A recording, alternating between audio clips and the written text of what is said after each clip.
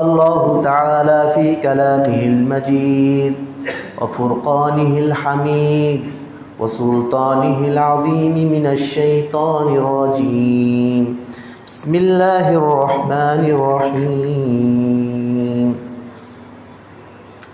تلك حدود الله فلا تتعد تعتدوها ومن يتعد حدود الله فأولئك هم الظالمون.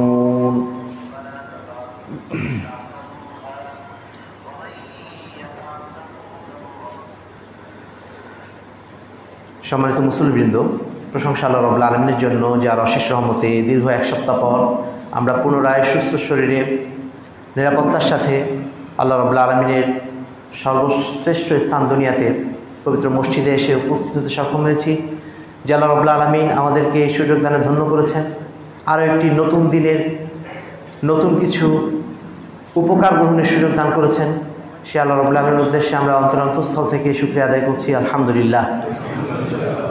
দরুদুসালাম প্রসিদ্ধ হোক শ্রেষ্ঠ আহমদ মুস্তফা মোহাম্মদ মুস্তফা সাল্লাহ আলী ইসলামের প্রতি, যিনি আমাদের একমাত্র আদর্শ, যার আদর্শ অনুসরণের মাধ্যম দিয়ে আমরা দুনিয়া এবং আখেরাতে সর্বত্র সফলতা লাভ করতে পারি, সে রসুল উদ্দেশ্যে আমরা দরুদ পাঠ করছি। আল্লাহ সাল্লি আলাই আল্লাহ বারিক আলাই সম্মানিত উপস্থিতি, আজকে আমরা সংক্ষিপ্ত জুমার খুদ্বায় যে বিষয়টি নিয়ে আলোচনা করতে চাইব, সেটি হচ্ছে আমাদের যাবতীয় সামাজিক সমস্যা বা সামাজিক যে দ্বন্দ্বগুলো হয়, এর পিছনে সবচেয়ে বড় যেটা কারণ সেটা হচ্ছে জুলুম। সেই জুলুমের প্রকার এবং এর পরিণাম এই সম্পর্কে আমরা সংক্ষিপ্ত কিছু আলোচনা করি। সম্মানিত উপস্থিতি, প্রথমেই বলে নিই, আল্লাহ রবুল্লা আলমিন আমাদেরকে সৃষ্টির সর্বশ্রেষ্ঠ সেরা জীব হিসাবে সৃষ্টি করেছেন। আমরা নিজেরা জানি এবং আল্লাহ রবুল্লা আলমিন আমাদেরকে মানে সেই জ্ঞান দিয়ে সৃষ্টি করেছেন যা দিয়ে আমরা উপলব্ধি করতে পারি যে এই পৃথিবীতে সর্বশ্রেষ্ঠ সৃষ্টি হচ্ছে আমরা। আল্লাহ রবুল্লা আলমিন কোনো মানুষকে জাহান্নামের জন্য মৌলিকভাবে তিনি মানুষকে জাহান্নামে পাঠানোর জন্য তৈরি করেন নাই, কারণ মানুষকে তিনি অত্যন্ত ভালোবেসে সৃষ্টি করেছেন। তিনি চান প্রত্যেকটা মানুষ জান্নাতে যায়। কিন্তু তারপরেও মানুষ জাহান্নামের কাজ করে বসে। জাহান্নামে যাওয়ার মতো তার মধ্যে প্রবৃত্তি তৈরি হয়। কেন এটা হয়? আল্লাহ রবুল্লা আলমিন প্রত্যেকটা মানুষের মধ্যে খারাপ বৈশিষ্ট্য যেমন দিয়ে রেখেছেন, ভালো বৈশিষ্ট্য দিয়ে রেখেছেন। পৃথিবীর সবচেয়ে নিকৃষ্ট মানুষটার মধ্যেও আল্লাহ রবুল্লা আলমিন কিছু না কিছু ভালো বৈশিষ্ট্য দিয়ে রেখেছেন। মানুষ মূলত তার অন্তরটা কিন্তু ভালোর দিকেই যাওয়ার চেষ্টা করে। যদিও ইন্নাসাল্লাহ আম্মারাতন বিশ্ব কোরআনে বলা হয়েছে যে নিশ্চয়ই মানুষের অন্তর খারাপের দিকে মানুষকে ঠেলে দেয়।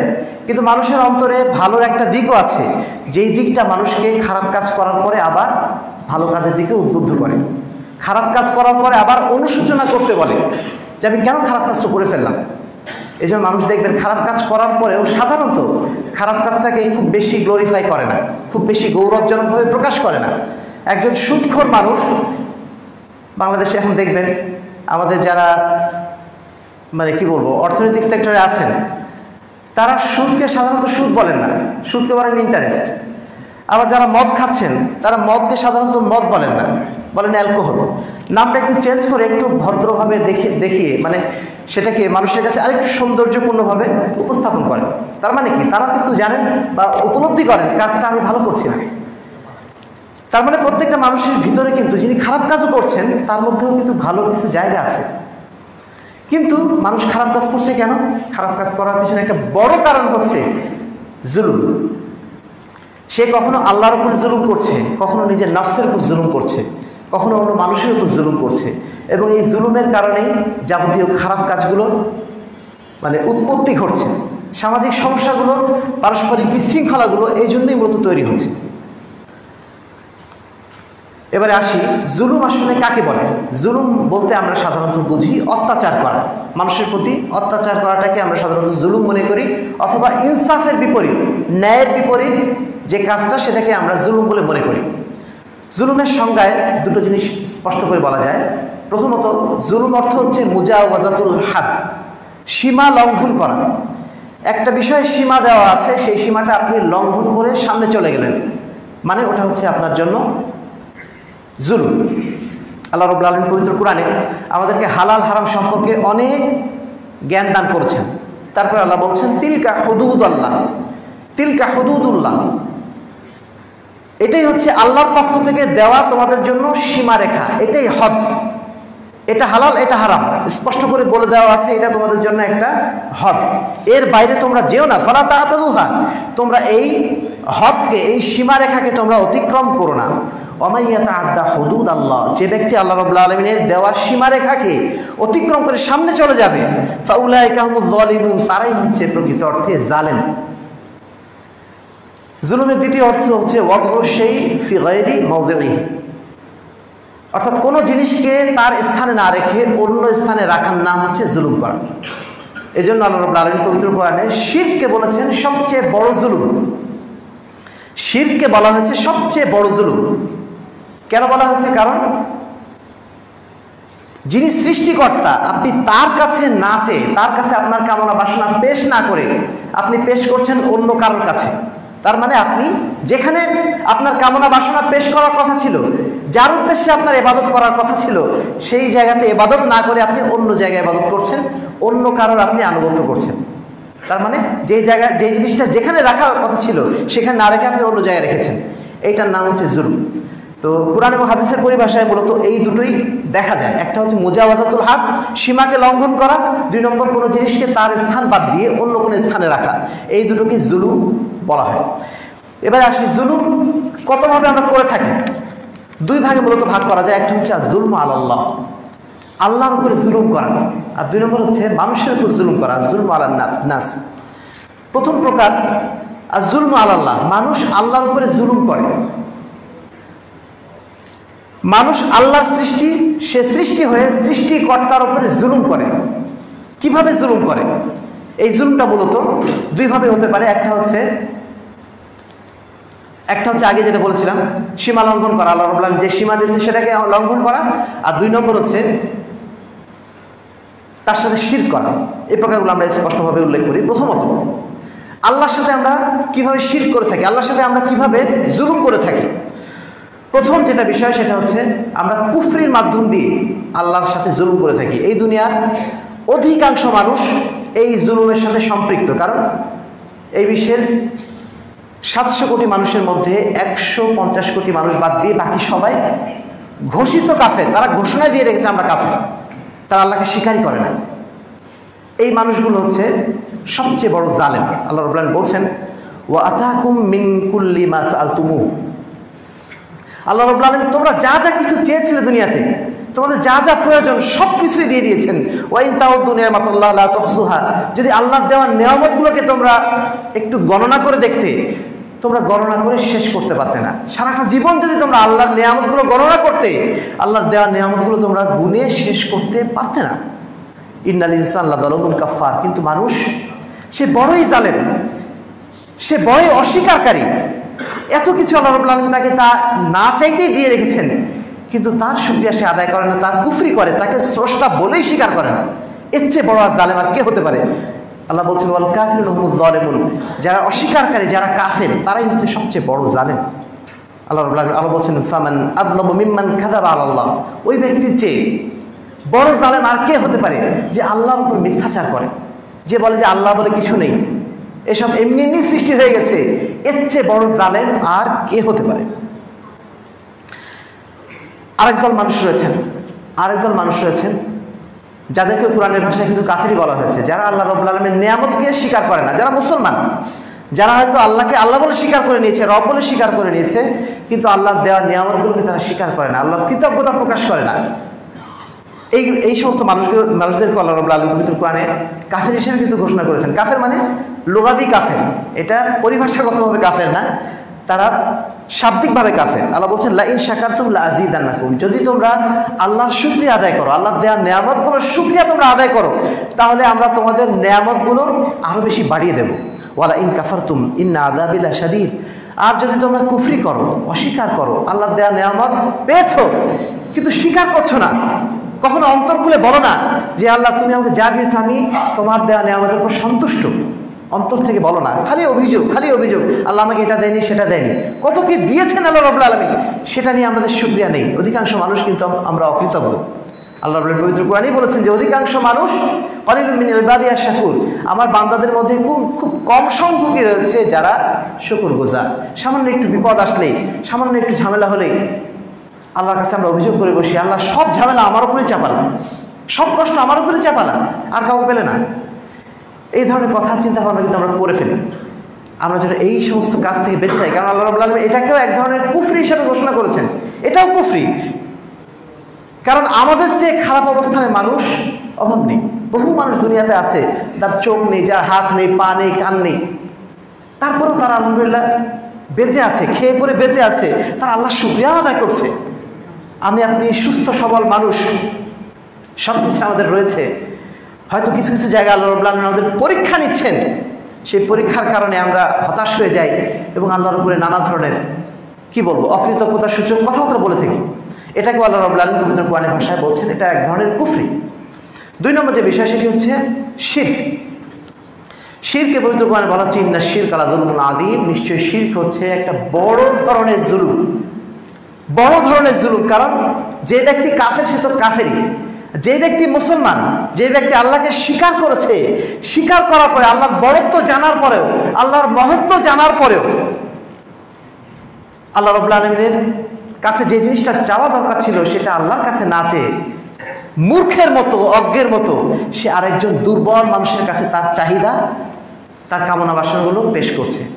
এর চেয়ে বড় জালেম আর কে হতে পারে? যে আল্লাহকে চিনেছে, চেনার পরেও আল্লাহ রবুল্লা আলমকে প্রকৃত অর্থে মূল্যায়ন করতে পারেনি। অমা কাদারুল্লাহ হাক্কা কাদরিহি।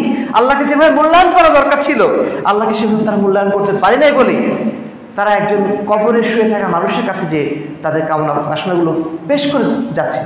অথবা একটা তাবিজের উপর ভরসা রাখছে, অথবা একটা কালো টিপের উপর ভরসা রাখছে। অথচ যারা জানে, আল্লাহ রবুল্লাহ হচ্ছে সব কিছু সৃষ্টিকর্তা। যখনই আমরা তাকে ডাকবো, আমরা তাকে সঙ্গে সঙ্গেই পেয়ে যাব। তিনি আমাদের সব সময় কাছেই আছেন, সাথেই আছেন। এই জন্য শিরকে আল্লাহ রবুল্লাহ সবচেয়ে বড় জুলুম হিসেবে ঘোষণা করছেন। আল্লাহ আল্লাহ বলছেন আল্লাহ দিন আমানু, যারা ইমান এনেছে মিন ইমানের সাথে যারা শিরকে মিশায়নি, উলাইক আলহামুল আমন, উলাইক মুহতাদুন, তারাই হচ্ছে তারা যাদের জন্য নিরাপত্তা রয়েছে দুনিয়া এবং আখরাতে, অহুম মুহতাদুন, এবং তারাই হচ্ছে একমাত্র সুপথ প্রাপ্ত আল্লাহ রবুল্লা আলমিন আরও স্পষ্ট ভাষায় বলছেন সুরাই ইউনিসের একশো ছ নম্বর রাতে, ওয়ালা তাদউ মিন্দুলিল্লাহি মা লা ইয়ানফাউকুম ওয়ালা তোমরা আল্লাহর সাথে ওই সমস্ত ব্যক্তিদেরকে ডেকো না, ওই সমস্ত মানুষকে ডেকো না, মা লা ইয়ানফাউ। যারা তোমার কোনো উপকারও করতে পারে না ওয়ালা ইয়াদুর, তোমাকে কোনো ক্ষতিও করতে পারে না। ফাইন ফালতা ফাইন নাকার ইদাম মিনাদ দলিমিন যদি তোমরা এই কাজ করো, জেনে শুনে, তাহলে জেনে রাখো, তোমরা নিঃসন্দেহে জালিমদের মধ্যে অন্তর্ভুক্ত। তোমরা জুলুম, জুলুমকারী। তোমরা নিজেদের নফসের উপর জুলুম করেছ, তোমরা আল্লাহর উপরে জুলুম করেছ। এরপরে আরও একটা বিষয়কে জুলুম হিসেবে ঘোষণা দেওয়া যায়, যারা আল্লাহ রব্বুল্লা আলমী সম্পর্কে জানে, তারা কোরআনও পড়ে। কোরআনের আয়াত পড়েও, পড়ার পরেও তারা কোরআনের আয়াতে অপব্যাখ্যা করে। আল্লাহ রব্বুল্লা আলমী সম্পর্কে নানা আজে বাজে কথা বলে। তার মধ্যে একটা বড় বিষয়, যে বিষয়টির সাথে আমরা অধিকাংশ মানুষ যুক্ত, আর রহমান আল্লাহ শিস্তাওয়া কোরআনে আমরা বারবার পড়ছি, আল্লাহ রব্বুল্লা আলম আছেন আরসের ওপরে। আমরা তাকে মাটিতে নামিয়ে নিচ্ছি। কেউ বলছি, আল্লাহ রব্বুল্লা আলম মানুষের কলবে আছেন, আল কলব আরসুল্লাহ মানুষের কলবে নাকি আল্লাহর আরস আরও আজে বাজে কথা বলে আমরা বলছি আল্লাহ রবুল্লা আলমিন নিরাকা তিনি সর্বত বিরাজমান। এই সমস্ত কথার অস্তিত্ব পবিত্র কোরআনে কোথাও নেই, হাদিসে কোথাও নেই। আল্লাহর উপর আমরা মিথ্যাচার করছি। আল্লাহ রবুল্লাহ বলছেন, ফামান আজলাহ মানিফতার আল্লাহ কাদিবান ওই ব্যক্তির যে জুলুমকারী ব্যক্তি আর কে হতে পারে যে আল্লাহর উপর মিথ্যাচার করে, মিথ্যা কথা বলে? লিউদিল্লাহ নাজ বিগার আলমিন মানুষকে পদভ্রষ্ট করার জন্য বিগার আলমিন না জেনেই মুখভাবে তারা মানুষকে পদভ্রষ্ট করার জন্য আজে বাজে কথা বলে আল্লাহ সম্পর্কে। ইন আল্লাহ আল্লাহদিল কৌমাদ আলমিন নিশ্চয় আল্লাহ রবুল্লা আলমিন কোনো জালেম কমকে হেদায়ত করেন না। সুরান আম একশো চুয়াল্লিশ নম্বর আয় সুতরাং আল্লাহকে যখন আমরা বিশ্বাস করেছি, ঠিক সেভাবে বিশ্বাস করতে হবে যেভাবে আল্লাহ রবুল আলম আমাদের বিশ্বাস করতে বলেছেন। যেভাবে আল্লাহ রসুল তার উপর বিশ্বাস রাখতে বলেছেন, এর বাইরে নিজেরা নতুন করে কল্পনা করে আল্লাহ রবুল আলমী সম্পর্কে নানা ধরনের মিথ্যাচার যেগুলো করা হচ্ছে, এই মিথ্যাচার করা যাবে না, মিথ্যা কথা বলা যাবে না এবং তার উপরে কোনো রকম এমন কথা বলা যাবে না যেটা তার শানের খেলাফ। তিন নম্বর যে বিষয়টি, সেটি হচ্ছে ইন্তিহা হরমাতিল্লাহ। আল্লাহ রবুল্লা আলমিনের দেওয়া হারামের সীমারেখাগুলো অতিক্রম করা। যখন আমরা কোনো পাপাচার করি, কোনো পাপ কাজ করি, তখন আমরা আল্লাহ রবুল্লা আলমিনের দেওয়া নিষেধাজ্ঞাকে অতিক্রম করে চলে যাই। আল্লাহ রবুল্লা আলমিন আমাদেরকে নিষেধ করেছেন মদ খেতে, আমাদেরকে নিষেধ করেছেন জেনা করতে, আমাদেরকে নিষেধ করেছেন আরও হাজারো বিষয়, যে বিষয়গুলোকে আমরা প্রতিনিয়ত অতিক্রম করে যাচ্ছি, নিজের ইচ্ছা মতো পাপাচার আমরা করে যাচ্ছি, সেটা ছোট হোক, সেটা বড় হোক। সম্মানিত উপস্থিতি, অনেক সময় আমরা অনেক ছোট ছোট পাপ, ছোট ছোট না, মূলত কি বলব? এমন পাপ যেগুলো হয়তো আমরা অজান্তে করে ফেলছি, কিন্তু করার পরেও আমরা মনে করি এটা আমাদের ছোট পাপ। একজন বিদ্যানের জন্য বলছেন যে, কোনো পাপ করার পরে সেই পাপটা যদি ছোট হয় তবু সেটাকে ছোট বলে মনে করো না। কারণ তুমি যার সানে পাপটা করছ, তিনি অনেক বড়। তার সামনে তুমি এই পাপটা করছ এবং তার তুমি নিষেধা তুমি নিষেধকে তুমি অতিক্রম করে। এই কাজটা তুমি করেছ। এই জন্য তুমি কোনো পাপ কাজকে ছোট মনে করো না। সম্মানিত উপস্থিতি, আল্লাহ রবুল্লাহ বলছেন, তিলকা হদুদ আল্লাহ। আল্লাহ রবুল্লাহ যে নিষেধাজ্ঞাগুলো আমাদেরকে দিয়েছেন যে বিষয়গুলো নিষেধ করেছেন, সেই বিষয়গুলোকে আমরা যেন অতিক্রম না করি, আল্লাহ বলছেন, ফালা তা আতাদুহা তোমরা আল্লাহর নিষেধকৃত বিষয়গুলোকে অতিক্রম করো না, অর্থাৎ নিষেধকৃত বিষয়গুলোকে তোমরা হালাল করে নিও না। অমাইয়াত আদা হুদুদ আল্লাহ যে ব্যক্তি আল্লাহর নিষেধাজ্ঞাগুলোকে অতিক্রম করবে ফাউলাই কাহমুদ্দল এবং নিশ্চয়ই তারা হচ্ছে জালেম। সম্মানিত উপস্থিতি, আমরা যখন প্রতিরক্ত সালাত আদায় করি, সালাতের শেষে তাসাহুদের সময় দোয়ায় মাসুরা হিসেবে যেটা পড়ি আল্লাহ ইন্নি জলান্ত নাফসি জুলুমান কাসির। হে আল্লাহ রবুল্লা আলমিন, আমি আমার নফসের উপর অনেক জুলুম করে ফেলেছি। আল্লাহ জুলুমান তুমি ছাড়া কোনো পাপ কেউ ক্ষমা করতে পারে না। অতএব তুমি আমার পাপগুলোকে ক্ষমা করে দাও। যখনই আমরা কোনো পাপ করছি মানে আমি, আমরা আল্লাহর নিষেধাজ্ঞাকে অতিক্রম করছি। অতএব যখনই আমাদের কোনো পাপ হয়ে যাবে, সঙ্গে সঙ্গে আল্লাহর কাছে তবা করে ফেলতে হবে ইস্তেকফার করে ফেলতে হবে। চার নম্বর যে বিষয় সেটি হচ্ছে আল্লাহ রবুল্লা আলমিনের আদেশগুলোকে, আদেশের অবাধ্যতা করা। আল্লাহ রবুল্লা যে বিষয়ে আপনাকে আদেশ দিয়েছেন, আমাকে আদেশ দিয়েছেন, সেগুলোকে আমরা এড়িয়ে চলি, অবাধ্যতা করি। এই ধরনের অসংখ্য বিষয় আমাদের রয়েছে। পাঁচাত্ত সালাদ আমাদের উপর ফরজ। পাঁচাত্ত সালাদ পড়লাম না, বেখেয়ালে আছি, অলসভাবে রয়েছি। এমনিতে ছেড়ে দিচ্ছি। নিঃসন্দেহে এটা আল্লাহ রবুল্লা আলমিনের অবাধ্যতা। আবার যারা আমরা পাঁচাত্ত সালাত আদায় করছি, সালাত আদায় করার পরেও আল্লাহ রসুল সাল্লাহ ইসলামের তরিকা অনুযায়ী করছি না, এটাও এক ধরনের অবাধ্যতা। এটাও এক ধরনের অবাধ্যতা। আল্লাহ বলছেন অমাল্লাম ইয়াহকুম বিমান জাল্লাহ ফৌলাই নিশ্চয়ই যে ব্যক্তি আল্লাহ রবুল্লা আলমিনের নাজিলকৃত বিষয় অনুযায়ী, অর্থাৎ কোরআন এবং হাদিস অনুযায়ী ফয়সলা না করবে, নিঃসন্দেহে তারা জানেন। যারা আল্লাহ রসুলের নিষেধাজ্ঞাকে অতিক্রম করবে, যারা আল্লাহ রসুল সাল্লামের নিষেধ বা আদেশ নিষেধ অনুযায়ী তাদের জীবন পরিচালনা করবে না। এমনকি যে সমস্ত ইবাদত তারা করছে, ইবাদতগুলো যদি আল্লাহ রসুলের তরিকা অনুযায়ী না করে নিঃসন্দেহে তারাও জানেন যারা বেদাত করছেন শরীরের মধ্যে নতুন নতুন সৃষ্টি করছেন, তারাও নিঃসন্দেহে জানেন এতে কোনো সন্দেহের অবকাশ নেই। আল্লাহ বলছেন সুরাফুর খানে উনত্রিশ নম্বর আয়াতে, কাল কেয়ামতের ময়দানে আজকে যারা আমরা আল্লাহ রসুলের দেওয়া বিধান জেনেও আমরা পালন করছি না। আল্লাহ রসুলের দেখানো পদ্ধতি অনুযায়ী আমরা সালাত আদায় করতে পারছি না, সিয়াম পালন করছি না, হজ পালন করছি না। তাদের উদ্দেশ্যে আল্লাহ রবুল্লাহ বলছেন আলা সেই দিন যারা জালেন নিজের নাফসের পর যারা জুলুম করেছে, তারা তাদের আঙ্গুলগুলোকে কামড়ে ধরবে, আঙ্গুলগুলোকে কামড়াবে। ইয়াকুর ইয়া সে বলবে, হায় ইত্তাখাস্তু মা রসুল সাবিলা যদি আল্লাহ রসুল্লাহ ইসলামের দেখানো পথ অনুযায়ী আমি চলতাম, কতই না ভালো হতো। ইয়া ওয়াইলাতা, লাম আত্তাখিস ফুলানান খালিলা। হায়, আমি যদি ওই মানুষটাকে বন্ধু হিসেবে গ্রহণ না করতাম, যেই মানুষটা আমাকে আল্লাহ রসুলের দেখানো পথ বাদ দিয়ে অন্য পথ দেখিয়ে দিয়েছিল, ওই মানুষটাকে যদি আমি বন্ধু হিসেবে গ্রহণ না করতাম, আমি যদি আল্লাহ রসুলকে বন্ধু হিসেবে গ্রহণ করতাম, তাহলে কতই না ভালো হতো? লাকাত আদাল্লানি আনি দিক্রি বাদাইস জাহারি সে তো আমাকে আল্লাহর পক্ষ থেকে কোরআন এবং হাদিস আসার পরেও আমাকে পথভ্রষ্ট করে দিয়েছে। ওখানে শৈতান ইনসানি খাদুল্লাহ নিশ্চয়ই শয়তান মানুষকে সবসময় লজ্জিত করতে চায়, অপমানিত করতে চায়। আল্লাহর সামনে শয়তান মানুষকে সবসময় লাঞ্ছিত করতে চায়। সম্মানিত উপস্থিতি, সুতরাং যারা আমরা রাসুলের সুন্নাতের তরিকার বাইরে যে নিজেদের মন মতো আমল করছি এবং সেটাকে মনে করছি, অনেক সময়, কি বলব, এখন যেটা হচ্ছে, ইস্তেহাদের নাম করে চালিয়ে দিচ্ছি। নিজের মন করা বিষয়গুলো চালিয়ে দিচ্ছে না, এটা ইস্তেহাদি বিষয়।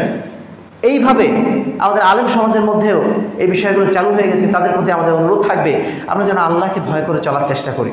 কালকে আমাদের ময়দানে আমাদের সবাইকে দাঁড়াতে হবে, সেই দিন দুনিয়ার কোনো মানুষ আমাদের পক্ষে কোনো রকম সুপারিশ করবে না। সেই দিন সুপারিশ করবেন একমাত্র রসুল্লাহ সাল্লাহ ইসলাম যদি কোনো বিষয়ে বলতে হয় করতে হয়, শুধুমাত্র তার সন্তুষ্টির জন্যই করতে হবে। আল্লাহ আবলামের সন্তুষ্টির জন্যই করতে হবে এবং রাসুল্লাহ দেখানো তরিকা অনুযায়ী করতে হবে। যদি তার সাফাত পেতে হয়, তাহলে তার তরিকা অনুযায়ী চলতে হবে। কুলিন কুন্তুম তহিবুন আল্লাহ, ফত্তাবিউনি ইহবিবকুমুল্লাহ আল্লাহ বলছেন, হে মোহাম্মদ সাল্লাহ ইসলাম আপনি মানুষকে বলে দিন যে যদি তোমরা আল্লাহকে ভালোবেসে থাকো, ফত্তাবিউনি, তাহলে তোমরা আমার আনুগত্য করো। ইহবিবকুমুল্লাহ তবে আল্লাহ রবুল্লাহ তোমাদেরকে ভালোবাসবেন। অনেকে আমরা নিজেদের প্রবৃত্তির অনুসরণ করে চলি। এটাই ভালো লাগে, এটাই সমাজে চলে। এটাই সমাজে অধিকাংশ মানুষ করছে। আমাদের আলমোলামারা এগুলো করে গেছেন, তারা কি কম জানতেন? এই ধরনের কথা যারা বলেন, তাদের উদ্দেশ্যে আল্লাহ বক্তব্য অমান আদাল্লমিমানিত্তাবা হাওয়াহু। ওই ব্যক্তির চেয়ে পদভ্রষ্ট ব্যক্তি আর কে হতে পারে যে তার নিজের নাফসের আনুগত্য করে? আল্লাহর তার রাসুলের আনুগত্য করা বাদ দিয়ে নিজের নাফসের আনুগত্য করে, নিজের প্রবৃত্তির আনুগত্য করে বিগয়রি হুদাম মিন আল্লাহ আল্লাহ রবুল্লা আলমীর দেখানো পথ প্রদর্শন বাদ দিয়ে ইন্নআল্লাহ আলাইহাদিল কৌমাদ আলমীর নিশ্চয়ই যারা জানেন এদেরকে আল্লাহ রবুল্লাহ জালেম হিসেবে ঘোষণা করেছেন। নিশ্চয়ই যারা জালেন তাদেরকে আল্লাহ রবুল্লা আলমী কখনো হেদায়ত করেন না। যারা ইচ্ছাকৃতভাবে জেনে শুনে আল্লাহ রসুলের কোনো বিধানকে আল্লাহ রসুলের দেখানো কোনো পথকে অস্বীকার করে নিজের মতো, মন মতো চলার চেষ্টা করবে, তাদেরকে আল্লাহ রব আলম পবিত্র কোরআনে জালিম হিসাবে ঘোষণা করেছেন। সুরাক আসাস পঞ্চাশ নম্বর আয় সম্মানিত উপস্থিতি, এবার আসুন। মানুষ আল্লাহর উপর জুলুম করে কীভাবে সেটা আমরা জানলাম। মানুষ, মানুষের উপর জুলুম কীভাবে করে, এটা আমরা মোটামুটি সবাই জানি। প্রথমত, আমরা যেটা উল্লেখ করতে চাইব, মানুষ মানুষের উপর জুলুম সবসময় যেটা যেভাবে করে থাকে, তার মধ্যে একরকম পন্থা হচ্ছে মানুষের সম্মান নষ্ট করা। প্রত্যেক মানুষকে আল্লাহ রবুল্লাহ একটা সম্মান দিয়েছেন। সে মুচি মেথর হলেও মানুষ হিসেবে তার একটা সম্মান আছে। আপনি তার সম্মান হানি করতে পারেন না। এটা আপনার অধিকারে নেই। এই অধিকার আপনাকে দেওয়া হয়নি যে আপনি একজন মানুষকে অসম্মানিত করবেন। তাকে আপনি তুচ্ছ তাচ্ছিল্য করবেন। এই অধিকার আপনাকে দেওয়া হয়নি। যদি আপনি করেন এই কাজ, নিঃসন্দেহে আপনি একজন জানেন আল্লাহ রসুল বলছেন, আল মুসলিম আফুল মুসলিম। একজন মুসলমান আর একজন মুসলমানের ভাই লাইজলিমহু সে তাকে কখনো জুলুম করতে পারে না। ওলা ইয়াহদিলুহু ওলা ইয়াহদুলহু সে কখনো তাকে তুচ্ছ তাচ্ছিল্য করতে পারে না, লজ্জিত করতে পারে না ওলা ইয়াহতিরহু কখনো তাকে মানুষের সামনে ছোট করে উপস্থাপন করতে পারে না। বিহাসপিম মিনাশারি কোনো ব্যক্তির জন্য খারাপ হওয়া, কোনো ব্যক্তির খারাপ হওয়ার জন্য, নিকৃষ্ট হওয়ার জন্য এটাই যথেষ্ট যাই ইয়াহকেরা আখাহুল মুসলিম, সে তার একজন মুসলিম ভাইকে তুচ্ছ তাচ্ছিল্য করে, তাকে লজ্জিত করে। কুল্লু মুসলিমিন আলাল মুসলিম হারামুন দামুহু প্রত্যেক মুসলমানের জন্য অপর মুসলমানের মাল সম্পদ, তার রক্ত এবং তার সম্মানকে হারাম করে দেওয়া হয়েছে। আল্লাহ বিদায় হজের দিন সমগ্র মানব জাতির উদ্দেশ্যে যে বিশাল হেদায়ত বাড়ি রেখে গিয়েছিলেন, সেইখানে তিনি একটা কথা এভাবে স্পষ্টভাবে বলেছিলেন, ইন্না দিমা আকুম ও আমওয়ালাকুম ও আরাদাকুম হারামুন আলাইকুম। জেনে রাখো, হে মানুষ সকল তোমাদের পরস্পরের সম্পদ, পরস্পরের রক্ত এবং পরস্পরের সম্মান তোমাদের জন্য হারাম করে দেওয়া হবে। অন্য মানুষের সম্পদ আপনি নিতে পারবেন না, অন্য মানুষের রক্ত আপনি নিতে পারবেন না, অন্য মানুষের সম্মানের হানি করার অধিকার আপনার নেই। আল্লাহ সাল্লাম আরও স্পষ্টভাবে বলছেন, ইন্না মিন আরবার রিবা। নিশ্চয়ই সুদকে আমরা জানি সবচেয়ে জঘন্য অপরাধ হিসেবে, তাই না? আল্লাহ বলছেন, ইন আরবার রিবা সুদের চেয়েও আরও বেশি জঘন্য অপরাধ হলো আল্লিস্তি তারাতফি ওয়াইদিল মুসলিম বেগায় হাকিম কোনো মুসলমানের উপরে কোনো হক ছাড়াই আপনি তার সম্মানহানি করবেন, আপনার কথার দ্বারা, আপনার কাজের দ্বারা তার মানহানি করবেন। এটা আল্লাহর কাছে আরও বেশি বড় গুনাহের কারণ। সুদকে বলা হয়েছে এমন গুণা আপনারা জানেন সবই। সেই গুণার চেয়ে মানুষের সম্মানহানি করাকে আল্লাহ রবুল্লা আরও বেশি বড় গুণা হিসেবে ঘোষণা করছেন। অথচ আমরা কত অবলীলায় মানুষের বিবদ্ধ হমত করছি। মানুষকে কি বলব, লাঞ্ছিত করার জন্য, অপমানিত করার জন্য প্রতি মুহূর্তে কীভাবে কোশেষ করছি? ফেসবুক এখন হয়েছে ইউটিউব এখন হয়েছে ট্রল করার একটা বিষয় চলে এসেছে। আমাদের যুব সমাজ সবাই জানি আমরা ট্রল করা নিয়ে সবাই ব্যস্ত। কাকে কীভাবে লজ্জিত করা যায়? কাকে কীভাবে লাঞ্ছিত করা যায়? মানহানি করা যায়? অথচ আল্লাহ কত কঠোরভাবে আমাদেরকে হুঁশিয়ারি দিয়েছিলেন। যারা এই কাজ করছেন, তারা স্পষ্টভাবে জেনে রাখবেন, আমি আপনি জুলুমের সাথে সম্পৃক্ত হয়ে যাচ্ছি। যখন কারোর বিরুদ্ধে গিবত করছি, যখন কারোর বিরুদ্ধে তহমত আরোপ করছি, যখনই কারোর বিরুদ্ধে কোনো অন্যায় কথা বলছি, যখনই কারোর বিরুদ্ধে না জেনে ধারণা করে একটা কথা বলে ফেলছি, তার মানে আমি তার উপর জুলুম করছি। দুই নম্বর যে বিষয়, সেটি হচ্ছে যারা আমরা দায়িত্বশীল পর্যায়ে রয়েছি যে কোনো পর্যায়ে দায়িত্বশীল সেটা পারিবারিক দায়িত্ব হতে পারে, সামাজিক দায়িত্ব হতে পারে, যে কোনো দায়িত্বে আছি, আমাদের যারা অধীনস্থ ব্যক্তি রয়েছে, তাদের উপর অত্যাচার করা, তাদের উপরে তাদের হক পরিপূর্ণভাবে আদায় না করা, এটাও জুলমের মধ্যে অন্তর্ভুক্ত। সবচেয়ে বড় জুলুম হচ্ছে একজন শাসক যখন তার শাসিতের প্রতি, একজন রাজা যখন তার প্রজার প্রতি যথাযথভাবে হক আদায় করে না। নিঃসন্দেহে এটা জুলমের মধ্যে অন্তর্ভুক্ত। আল্লাহ সাল্লাম বলছেন আল্লাহ কুল্লুকুম রায় তোমাদের প্রত্যেকেই দায়িত্বশীল। অকুল্লুকুম মাসুল রায়াতি এবং তোমাদের প্রত্যেকেই কালকে আমাদের ময়দানে নিজ নিজ অধীনস্থ ব্যক্তিদের সম্পর্কে জিজ্ঞাসা করা হবে। আল ইমাম রাইন আল রায়াতি নিশ্চয়ই যিনি রাষ্ট্রের দায়িত্বশীল শাসক যিনি হবেন, তিনি তার শাসিত যারা আছেন, যারা প্রজা আছেন, তাদের ব্যাপারে দায়িত্বশীল। যদি তাদের কারও একজনের উপরে জুলুম হয়, কালকে আমাদের ময়দানে তাকে আল্লাহর কাছে জবাবদিহি করতে হবে। এই জন্য আল্লাহ রসুল বলছেন, যাকে শাসক হিসাবে নিয়োগ দেওয়া হলো, যাকে দায়িত্বশীল হিসাবে নিয়োগ দেওয়া হলো, তাকে যেন বেগায়ের সিক্কিন জবাই করে দেওয়া হলো অর্থাৎ ছুরি ছাড়াই জবাই করে দেওয়া হবে। সে যেন এমন একটা পজিশনে আছে। আমরা তো নেতা হওয়ার জন্য লাফাই। নেতা হতে পারলে মনে হয় কত কিছু করে ফেললাম। কিন্তু নেতা হওয়াটা কত বড় দায়িত্বের বিষয়। আপনার দায়িত্ব থাকা অবস্থায় যদি কোনো ব্যক্তি কোনো ধরনের সে যদি মানে কি বলব মানে অন্যায়ের শিকার হয়ে থাকে, কোনোভাবে কোনো অন্যায়ের শিকার হয়ে থাকে, অবশ্যই তার দায় দায়িত্ব আপনাকে নিতে হবে কালকে আমাদের ময়দানে, আপনাকে সেভাবে জিজ্ঞাসা করা হবে। দায়িত্ব নেওয়ার জন্য, নেতা হওয়ার জন্য এত পাগল করা হবেন না। আল্লাহ আরও বলছেন, সালাসাতুন আনা হাসামহম ইয়মাল কেয়ামা। আমি তিন ব্যক্তির বিষয়ে কালকে আমাদের ময়দানে আল্লাহর কাছে মানে বাদী হয়ে দাঁড়াবো। তার মধ্যে একজন ব্যক্তি হচ্ছে রজুল ইস্তা জারাহু আজিরান যখন কোনো ব্যক্তি কাউকে কাউকে আমেল হিসাবে নিয়োগ দিল, কোনো কাজের জন্য নিয়োগ দিল, আপনি দোকানদার, আপনি আপনার অধীনে কাউকে সেলসম্যান হিসাবে যখন নিয়োগ দিলেন ফাস্তাউফামিনু অতঃপর তার কাছ থেকে আপনি পরিপূর্ণ কাজ আদায় করে নিলেন। ওলাম ইউতিহি আজরাহ, অথচ তার যেটা পাওনা ছিল, তার যেটা প্রাপ্য ছিল, সেটা আপনি যথাযথভাবে আদায় করলেন না। নিশ্চয়ই কালকে আমাদের ময়দানে আপনাকে আল্লাহর কাছে ধরা খেতে হবে এবং আল্লাহ রসুল স্বয়ং আপনার বিরুদ্ধে বাদী হয়ে দাঁড়াবেন। এর চেয়ে ভয়ঙ্কর ব্যাপার আর কি হতে পারে? যেই কেয়ামতের দিন আল্লাহ রসুলের সাফাত ছাড়া আমরা মুক্তি পাবো না, সেই কেয়ামতের দিন আল্লাহ রবুল্লা আলমিন তার রাসুলকে আমাদের বিরুদ্ধে বাদী হিসেবে দাঁড় করিয়ে দেবেন, যদি আমরা আমাদের অধীনস্থদের উপরে অন্যায় করি, অত্যাচার করি, তাদের প্রাপ্য হক যদি আমরা আদায় না করে দিই। সম্মানিত উপস্থিতি, এ বিষয়ে অনেকগুলো হাদিস রয়েছে, সেগুলো এখন উল্লেখ করার সময় নেই। পরবর্তী যে বিষয়টি, সেটি হচ্ছে আকলু মাল গায়ে অন্য মানুষের সম্পদ অন্যায়ভাবে খেয়ে নেওয়া। এইটা হচ্ছে আজকের সমাজে আমাদের সবচেয়ে প্রিভিলেন্ট বিষয়। আমাদের প্রত্যেকে আমরা, কেউ না কেউ, কোনো না কোনোভাবে এই কাজটার সাথে জড়িত। আমরা অন্য মানুষের সম্পদ অন্যায়ভাবে খাচ্ছি। আল্লাহ বলছেন ইয়াই হলে দিন আমানু, হে ইমানদারগণ লা আমওয়ালাকুম বাইনাকুম বিল বাতিল। তোমরা তোমাদের মাল সম্পদগুলো বাতিলভাবে, অন্যায়ভাবে পরস্পর ভক্ষণ করো না। ইল্লা আন তাকুনা তিজারাতিন আন তারাদিন বাইনাহুম। যদি ব্যবসার বিষয় হয় পরস্পরিক সম্মতিক্রমে ব্যবসা হয়ে থাকে, সেক্ষেত্রে তোমরা তোমাদের পরস্পরের মাল গ্রহণ করতে পারো। কিন্তু অন্যায়ভাবে তোমরা কোনো অবস্থাতেই কোনো মাল গ্রহণ করতে পারো না। সেটা সুদের নামে হোক, সেটা ঘুষের নামে হোক, সেটা হাদিয়ার নামে হোক, আর সেটা যৌতুকের নামে হোক, যেই নামই হোক না কেন, অন্য কোনো মানুষের মাল আপনি খেতে পারেন না, এটা আপনার জন্য হারাম করে দেওয়া হয়েছে। আল্লাহ বলছেন মান আখাদা শিবরাম মিনাল আর্দে জুলমান ফাইন্নাহু ইউতাওয়াকু ইয়াউমাল কিয়ামাতি মিন সাবিল আদিম রাহুল বুখারী ও মুসলিম, যে ব্যক্তি অন্য কোনো মানুষের জমি শিবরাম এক বৃহৎ পরিমাণ জমি অন্যায়ভাবে অন্য কোনো মানুষের কাছ থেকে যে নিয়ে নেবে কালকে আমাদের ময়দানে সাত স্তরের জমি তার কাঁধের উপরে ঝুলিয়ে দেওয়া হবে। আমরা ঢাকাবাসী মানুষ, এলাকার মানুষ, আমরা প্রত্যেকেই জমিনদার।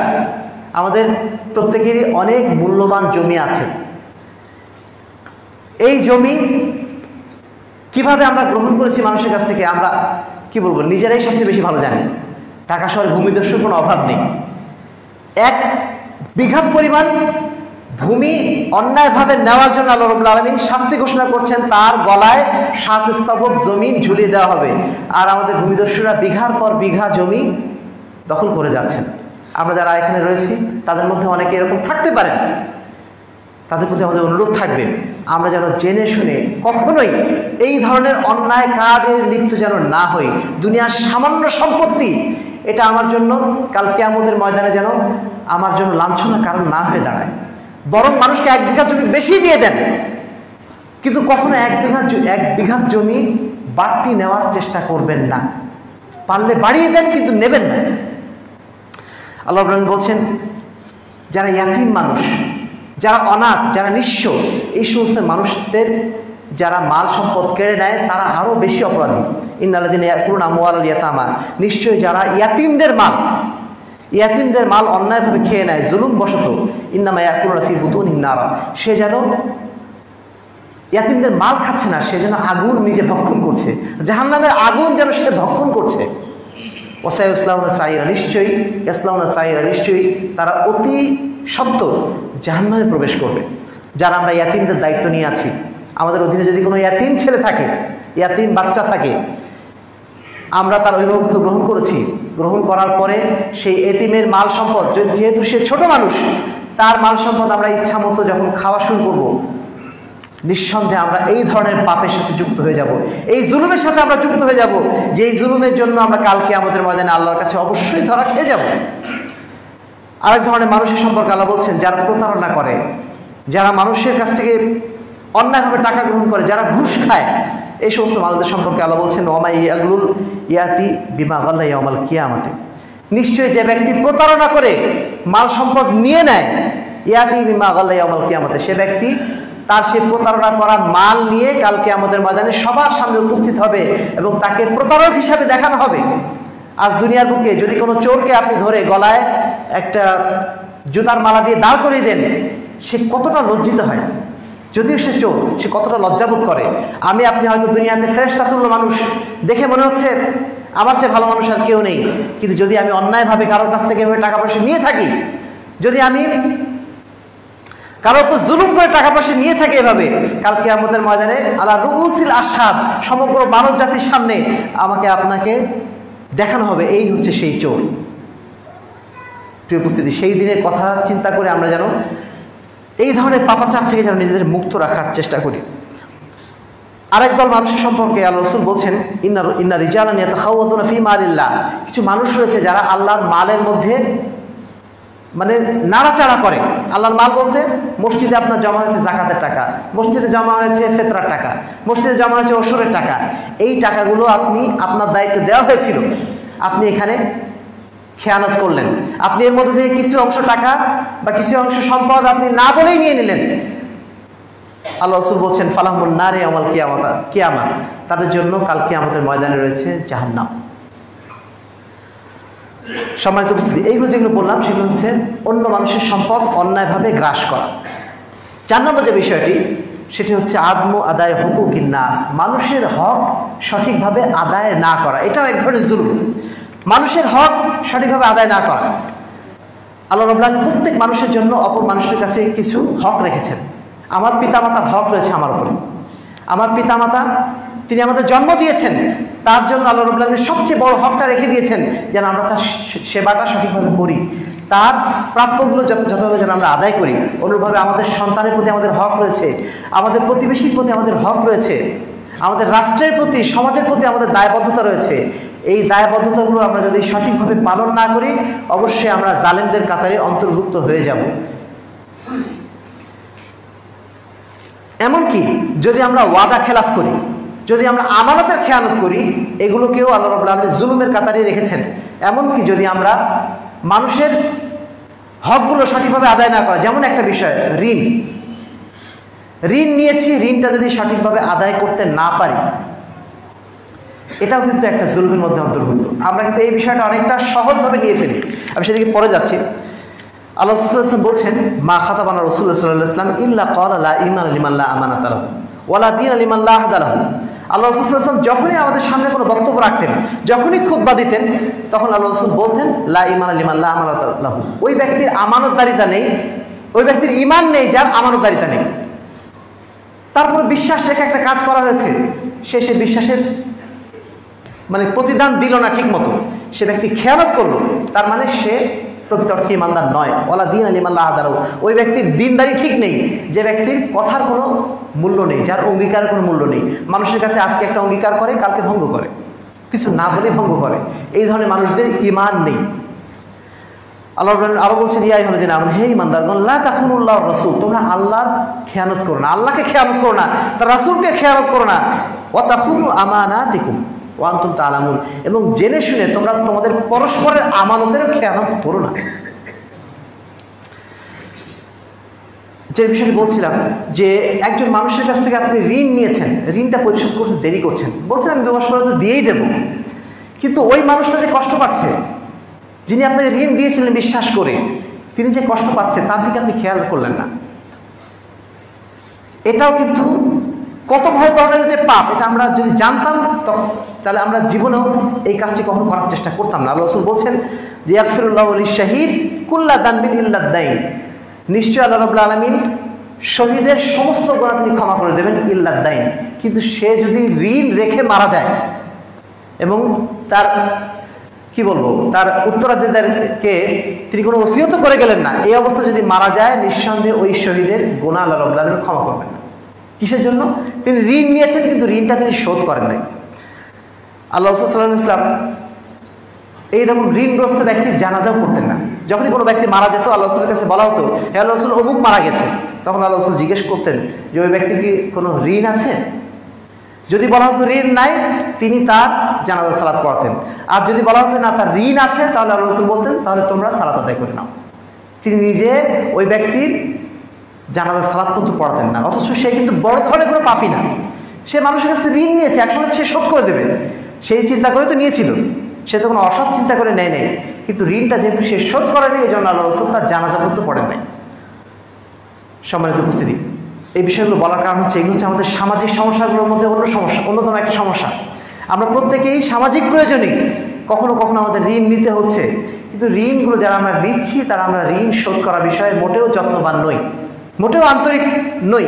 যখন ঋণ নিচ্ছি, তখন খুব ভালো ভালো কথা বলে নিচ্ছি। তারপর ঋণ নেওয়ার পরে আর কোনো খোঁজ নেই। যখন ফোন দেওয়া হচ্ছে, বলা হচ্ছে, তখন মনে হচ্ছে আমরা যেন উল্টা পাপ করে বসছি, ঋণ দিই। এরকম ঘটনা ঘটছে না? অহরহ ঘটছে। সম্মানিত উপস্থিতি, এটাও নিঃসন্দেহে জুলুমের মধ্যে অন্তর্ভুক্ত এবং এমন জুলুম যেই জুলুমের গোনা আল্লাহ রবুল্লা আলমীর শহীদের জন্য ক্ষমা করবেন না। যেই জুলুম করার কারণে আল্লাহ রসুল তার জানাজা পর্যন্ত পড়েন না সম্মানিত উপস্থিতি, মনে রাখবেন, আল্লাহ রসুল কিন্তু আবদুল্লাহ ইবনে উবায়ের মতো মুনাফিকেরও জানাজা পড়েছিলেন। আবদুল্লাহ ইবনে উবাই, রাইসুল মুনাফিকিন, মুনাফিকদের সর্দার। সেই ব্যক্তির জানাজাও কিন্তু আল্লাহ রসুল পড়েছিলেন। সেই আল্লাহ রসুলই যারা এরকম ঋণ নিয়েছেন, ঋণ শোধ করেন নেই, তাদের জানাজা পড়েন নাই। সুতরাং আমরা যারা এই ধরনের বিষয়ের সাথে যুক্ত রয়েছি, তাদের প্রতি আমাদের অনুরোধ থাকবে যত তাড়াতাড়ি সম্ভব আমরা যেন চেষ্টা করি, আমাদের এই বিষয়গুলো যেন সমাধান আমরা করে দিতে পারি। পাঁচ নম্বর যে বিষয়টি, সেটি হচ্ছে কতলুন নাফস। মানুষকে হত্যা করা। ওলা তাকতুল নাফসাল্লাতি হারামাল্লাহ ইল্লা বিল হক। যে ব্যক্তির উপরে হক নেই, এই সমস্ত ব্যক্তিকে তোমরা যদি হত্যা করো, নিঃসন্দেহে এটা একটা বড় জুলুম এবং এই জুলুমের প্রতিদান অত্যন্ত ভয়াবহ। সম্মানিত উপস্থিতি, এবার আসি যে জুলুমের প্রতিফল কি হতে পারে। আমরা যে জুলুম করে যাচ্ছি, আমরা মনে করছি যে, কি বলব? দুনিয়াতে এখন আমরা অনেক শক্তিশালী, আমরা ক্ষমতাবান, আমরা যা কিছু করতে পারি, যা খুশি করতে পারি, আমাদের কেউ কিছু বলার নেই, করার নেই। তাদের জন্যই যে বিষয়টি বলার, সেটি হচ্ছে জুলুমের জুলুম যে করবে তার সম্পর্কে আল্লাহ রবুল আলমিন অত্যন্ত কঠোর হুঁশিয়ারি বাণী উচ্চারণ করেছেন, যেগুলো হুঁশিয়ারি বাণী আমাদের জানা প্রয়োজন। প্রথম যে বিষয়, সেটি হচ্ছে যে ব্যক্তি জালেন তাকে আল্লাহ আল্লাহ কখনোই পছন্দ করেন না। কখনোই পছন্দ করেন আল্লাহ বলছেন, আল্লাহ আল্লাহিবুদ্দালিম নিশ্চয়ই আল্লাহ আলমিন কোনো জালেনকে পছন্দ করেন না। ইন্নাউল্লাহিফুদ্দালিমিন নিশ্চয়ই কোনো জালেনকে আল্লাহ রবুল্লা আলমিন সফল করেন না। হয়তো দুনিয়াতে তারা মনে করছে দুনিয়াতে তারা হয়তো মনে করছেন যে আমরা বোধহয় অনেক সফল হয়ে গেলাম, আমরা ভূমিদস্যু হয়ে বহু মানুষের জমি জমা দখল করে নিয়ে আমরা বোধহয় অনেক বড় কিছু হয়ে গেছি। এটা নিঃসন্দেহে কোনো সফলতা নয়, বরং তার জন্য বিফলতার কারণ। কালকে আমাদের ময়দানে যত জমি সে এভাবে অন্যায়ভাবে গ্রহণ করেছে, সমস্ত জমি তার কাঁধের উপর চাপিয়ে দেওয়া হবে কালকে আমাদের ময়দানে। তাহলে এটা কি সফলতা হলো? সফলতা আমরা মনে করছি দুনিয়ার বিচারে। দুনিয়ায় কয়দিন বেঁচে আছি? এক বছর, দুই বছর, পাঁচ বছর, দশ বছর বেশ খালাস। তারপর কি হবে? তারপর যে চিরন্তন জীবনে আসবে, সেই জীবনে আপনার ঘাড়ের উপর যখন এই জমিন চাপিয়ে দেওয়া হবে, কিসের সফলতা আপনার? ইন্নআল্লাহিল কৌম আলিম নিশ্চয় আল্লাহ রবুল আলম যারা জালেন তাদেরকে হেদায়ত দেন না। তাদেরকে আল্লাহ রবুল সুপথও দেখান না। তাদেরকে আল্লাহ রবুল আলম তাদের অন্যায়ের ওপরেই রেখে দেন। তোমরা অন্যায় করছ, করতেই থাকো। তোমাদের আমি হেদায়ত করব না। দুই নম্বর যে বিষয়, সেটি হচ্ছে তাদের উপরে হঠাৎ আজাব চেপে বসে। যারা জুলুম করছে, তারা মনে করছে, আমরা তো অনেক কিছু করে ফেললাম।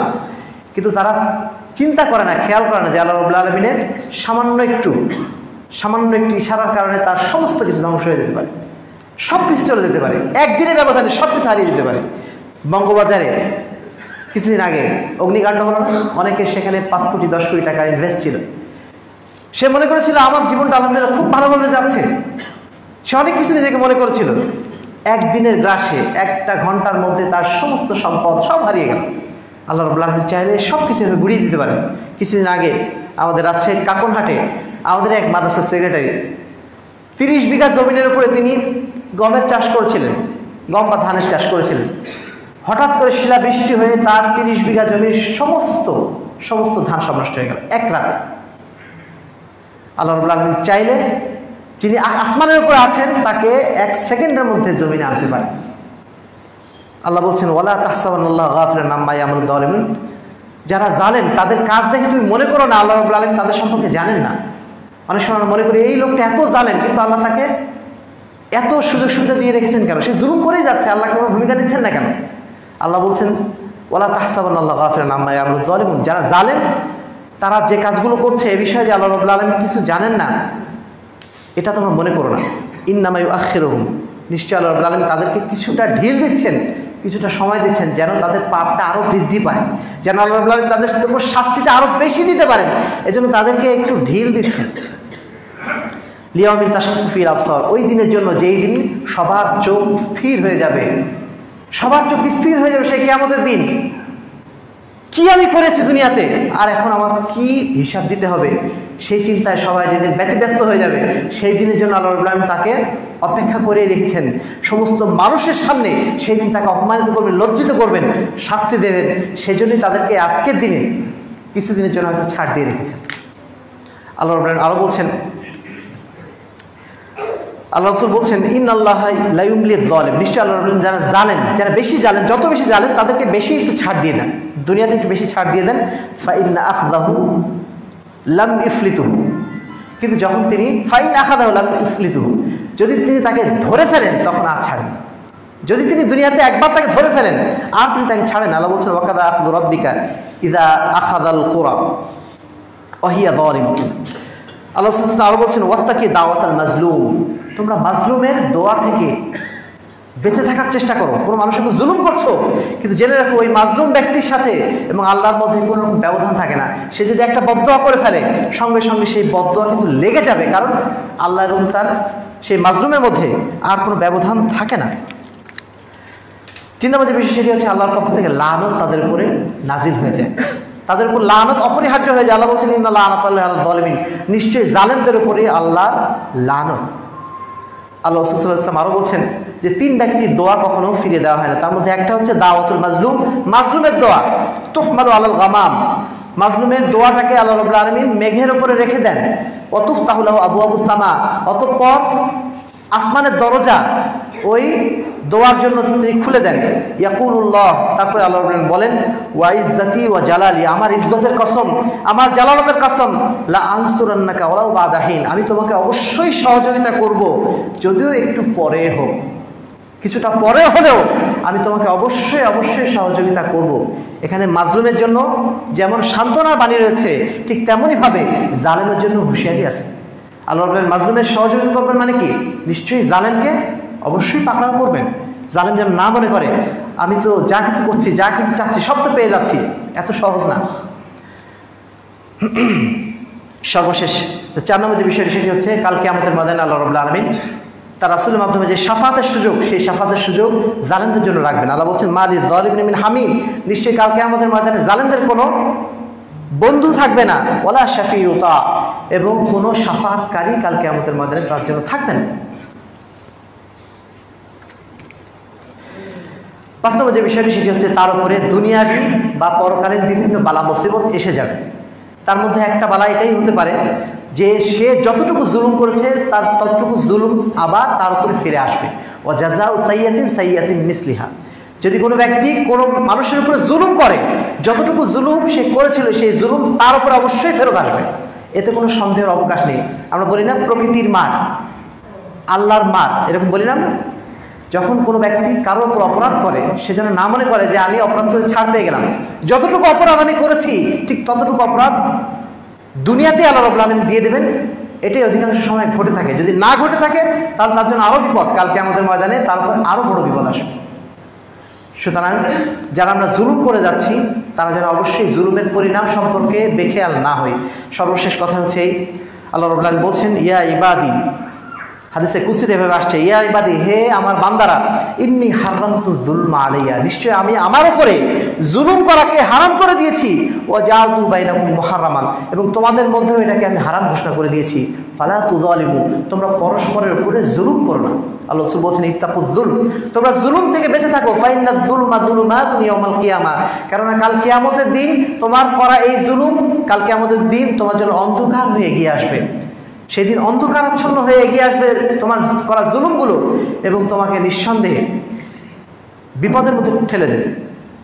আল্লাহ ইসলাম বলছেন, আল মুসলিম আকুল মুসলিম। একজন মুসলমান আর একজন মুসলমানের ভাই লাইজলিম সে কখনো তাকে জুলুম করতে পারে না। ওমান কানাফি হাজাতি আখিহি, যে ব্যক্তি, নিশ্চয়ই কোনো ব্যক্তির তার কোনো ভাইয়ের সহযোগিতা এগিয়ে আসবে। কান লফি হাজাতি, আল্লাহ রবুল্লা আলমিন তার সহযোগিতা এগিয়ে আসবেন। অমান ফরাজা কুরবাতান আন মুসলিমিন ফরাজা আন মুসলিমিন, যে ব্যক্তি কোনো মুসলমানের কোনো কষ্টকে দূর করে দেবে, ফরাজাল্লাহ আনহু কুরবাতান মিন কুরবাতি অমিল কিয়ামা, নিশ্চয়ই আল্লাহ আলমিন কাল কিয়ামতের দিন যে বিপদগুলো এসে থাকে, সেই বিপদ থেকেও তাকে রেহাই দেবেন। অমান সাতারা মুসলিমান, যে ব্যক্তি কোনো মুসলমানের কোনো গোপন দোষকে গোপন করে রাখবে সাতারা হল্লাহ আমার কিয়ামা নিশ্চয় আল্লাহ আলমিন কাল কিয়ামতের ময়দানে যে দিন সমস্ত গোনা আমাদের প্রকাশিত হয়ে যাবে, সেগুলোকে আল্লাহ রবুল্লা আলমিন গোপন করে দেবেন। সম্মানিত উপস্থিতি, আরেকটা কথা বলে নিই। আল্লাহ রবুল্লাহ নিজেই এটা ঘোষণা দিচ্ছেন, যারা আমরা জুলুমকারী, যারা আমরা জুলুম করছি মানুষের উপরে বিভিন্নভাবে, তারা আসলে আল্লাহর উপরেও জুলুম করি না, মানুষের উপরে জুলুম করি না। জুলুম মূলত কার উপর করি? নিজের উপরে করি। অমা দরামুনা তারা আমার উপর জুলুম করে না। ওলাকিন আনফুসমিয়াদ দিবন বরং তারা নিজেদের উপরেই জুলুম করে। নিজেদের নাফসের উপরে জুলুম করে। কারণ এই নাফস, এই শরীর, এটা আল্লাহর আনুগত্য করে। শুধুমাত্র আমাদের, কি বলব? আমরা নিজেরাই তাকে আল্লাহর অবাধ্যতার দিকে নিয়ে যাই। আর এই কারণে আমরা যেন আমাদের শরীরের উপরে, আমাদের নাফসের উপরে, আমরা যেন নিজেরাই জুলুম করছি, এটা আল্লাহ রহমান বলছেন। সুতরাং আমরা যারা জুলুমের সাথে এখনও যুক্ত রয়েছি, প্রত্যেকে কোনো না কোনোভাবে আমরা জুলুম করে ফেলি এমনিতেই। আল্লাহর সাথে যে জুলুমগুলো রয়েছে, এগুলো আমরা হয়তো বা আল্লাহর কাছে তবা করলে ইনশাল্লাহ মাফ পেয়ে যাব। কিন্তু মানুষের সাথে যে জুলুমগুলো আমরা করে ফেলছি, এগুলো বিষয়ে আমাদের অত্যন্ত সতর্ক থাকা দরকার। অত্যন্ত সতর্ক থাকা দরকার, কারণ মানুষের কাছে যে জুলুম আমরা করছি, সেই জুলুম তো আমরা অধিকাংশ সময় ক্ষমা চেয়ে নিতে পারি না।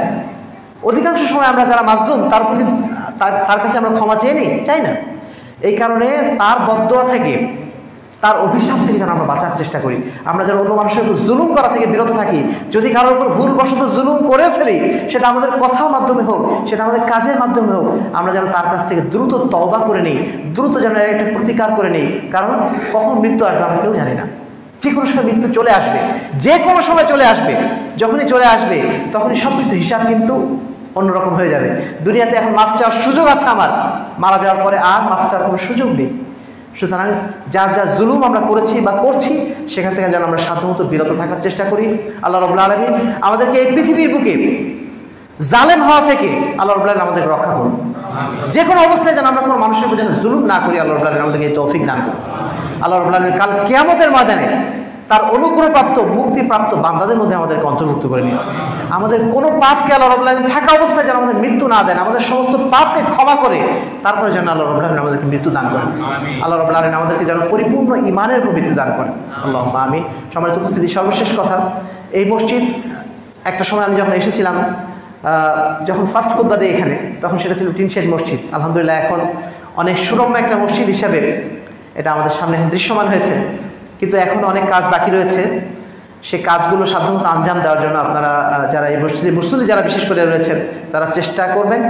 এবং সেই সাথে আরও একটা বিষয়, এই মসজিদের কাছেই বাংলাদেশে আহলাদিস আন্দোলন বাংলাদেশের অন্যতম একটি মার্কাজ, যেটাকে আহলাদিস মঞ্জিল হিসাবে ঘোষণা দিয়েছেন মোহতান আমির জামান সেই আহলাদিস মঞ্জিলের কাজও অচিরেই হয়তো উদ্বোধন হবে ইনশাআল্লাহ।